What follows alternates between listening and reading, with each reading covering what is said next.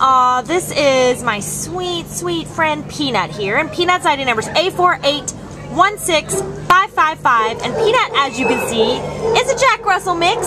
Um, she is actually a senior citizen. She's maybe about 13 years old, and she is an owner surrender from April 9th. The owner moved, and they didn't take Peanut with them, even though Peanut is an amazing dog. They just moved without Sweet Peanut and left here at the Baldwin Park Shelter.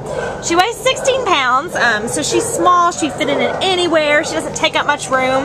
Um, she's just a sweetheart. She's very gentle, very calm. You know, she's got a lot of personality left in her. She's got really curious and alert and um, attentive, but uh, you know she's she's chill in her older age. She um she prefers to be carried.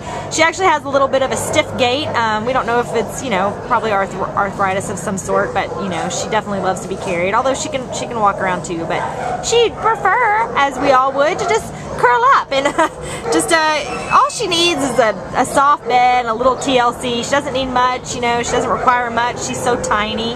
Um, so if you have a compassion heart, looking to do good and, and save a life, um, then this is a, a great choice because she has so few needs and requirements, just a little love and a bed, and she's going to make a wonderful, wonderful, sweet, loving companion. So please come down and consider Peanut at the Baldwin Park Shelter. She'd be a great dog for a senior because she's a senior herself and um, you guys definitely understand each other.